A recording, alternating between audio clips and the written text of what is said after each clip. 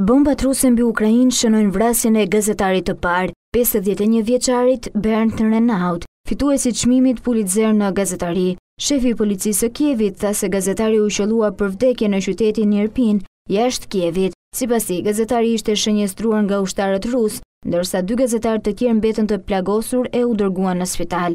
Pushtuesit vrasin në mënyrë cinike edhe gazetarët e mediave ndërkombëtare që po përpiqen të tregojnë të vërtetën për mizoritë e trupave ruse në Ukrainë. Sot është qëlluar për vdekje në Irpin një korrespondent 51 vjeçar i medias me famë botërore New York Times. Një tjetër gazetar mbeti i plagosur, aktualisht po tentojnë ta nxjerrin viktimën nga zonat e luftimit, ka bërë të ditur shefi i policisë së Kievit. Gazeta amerikane New York Times shprehu ngushëllimet për vrasjen e gazetarit, por sqaroi se Renaud kishte punuar në gazetë në vitin 2015. I menjëhershëm ka qenë reagimi i Shtëpisë së Bardhë, Rusia do të vuajë pasoja të rënda për atë që po bën, tha këshilltari i sigurisë kombëtare. Ne do ta ndjekim qartë këtë zhvillim të fundit me shumë kujdes dhe do të përgjigjemi në përputhje me rrethanat, theksoi ai. Ndërkohë presidenti ukrainas Volodymyr Zelensky tha se deri të dielën pasdite janë evakuuar njëqind e njëzet e pesë mijë njerëz përmes korridoreve humanitare. Ai tha se përpjekjet për evakuime janë intensifikuar në Mariupol, ndërkohë pritet që gjatë datave katërmbëdhjetë dhe pesëmbëdhjetë mars